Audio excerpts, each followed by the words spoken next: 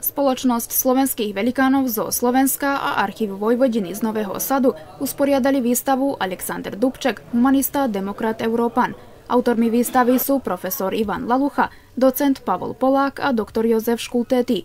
Výstavu plnú dokumentov a fotografií o živote a diele najznámejšieho slovenského politika slavnostne otvorila predsednička Národnostnej rady Slovenskej národnostnej menšiny Dušanka Petráková. A rozprávali aj humanista a veľký priateľ Srbska doktor Jozef Škultéty, predseda spoločnosti slovenských velikánov a jeden z autorov výstavy. Potom doktor Nebojša Kuzmanovič, riaditeľ archívu Vojvodiny, inštitúcie, ktorá má so slovenskou spoločnosťou výbornú spoluprácu. Potom riaditeľ gymnázia Michaila Pupina Miroslav Jurica a program viedol asistent riaditeľa archívu Vojvodiny Kristian Obšus, sociálny antropológ a archeológ. Plakety a medaily Alexandra Dubčeka udelil predseda spoločnosti slovenských velikánov Jozef Škultéty, inzitným maliarom z Padiny, Ane Kotvášovej a Pavlovi Povolnému Juhásovi, ako aj kultúrnemu pracovníkovi z Janovi Slávikovi a sociálnemu antropológovi a archeológovi Kristianovi Obšustovi. Za ocenenia pre maliarov Galerie inzitného umenia z Kovačice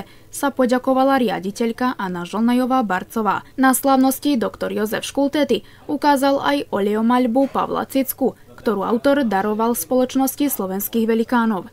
Viac o spoločnosti hovorí predseda doktor Jozef Škultéty. Spoločnosť slovenských velikánov je následník spoločnosti Alexandra Dubčeka, ktorá v 2015 roku zanikla a v 2015 roku som zaregistroval spoločnosť slovenských velikánov a preto tento názov, lebo v tom istom dome o 106 rokov skôr sa narodil Ludovič Štúr, kde je Alexander Dubček.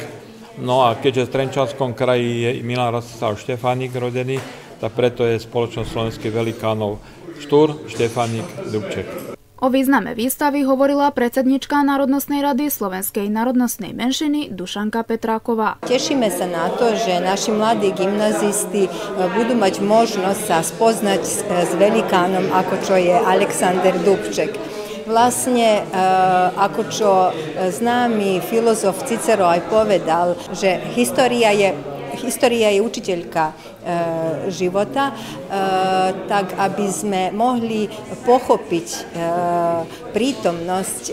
Veľmi, veľmi je dôležité, aby sme sa zoznámili s minulosťou. A zase ona je tiež veľmi dôležitá, aby sme vedeli aj pokračovať do budúcnosti.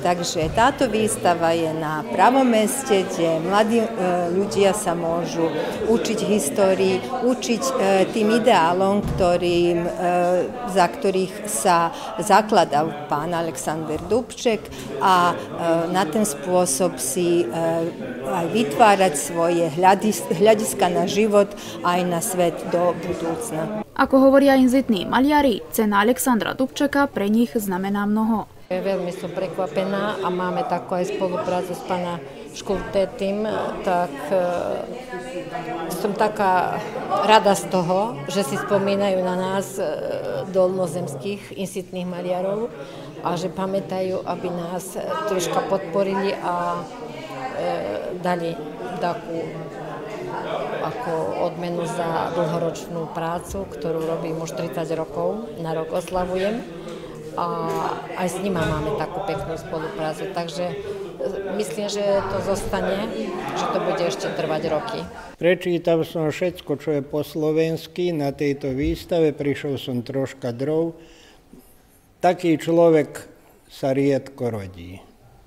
Cením, cením to, že bol aj, že je Slovák.